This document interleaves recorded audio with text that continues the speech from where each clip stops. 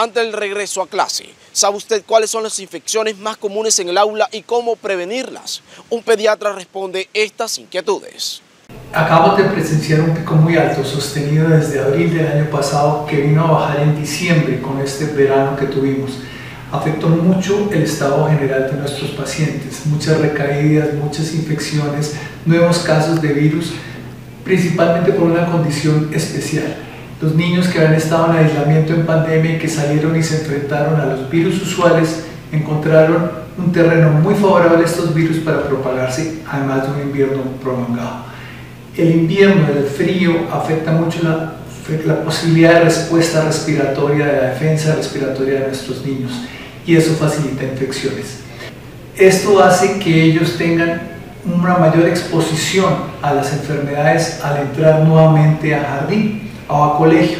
Es algo inevitable. ¿Cómo se puede prevenir? Primero, mejorando condiciones de alimentación. Muy, muy importante. Sin alimentos procesados, sin azúcares, sin productos que contengan niveles altos de colorantes o azúcares. Ejercicio. Tiempo con ellos, papás, permanezcan con ellos, compartan tiempo con ellos, denle tiempo de calidad a sus hijos.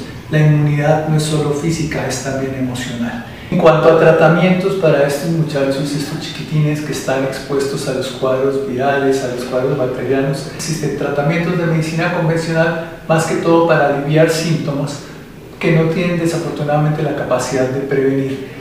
Y están los tratamientos que se pueden ofrecer en medicina alternativa que sí tienen una actividad sobre el sistema inmunológico fortaleciéndolo y ayudando a que ellos recuperen su capacidad de defensa y puedan tener una mejor respuesta a estos procesos virales. Es importante que la enfermedad se supere y no que se controlen los síntomas.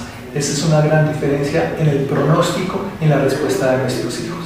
En cuanto al uso de tapabocas, si ellos logran mantenerlo en colegio sería muy bueno. Sigue siendo una medida muy importante de protección, pero más que eso es que los niños enfermos se queden en casa que no vayan al colegio, con eso no se siguen propagando las enfermedades.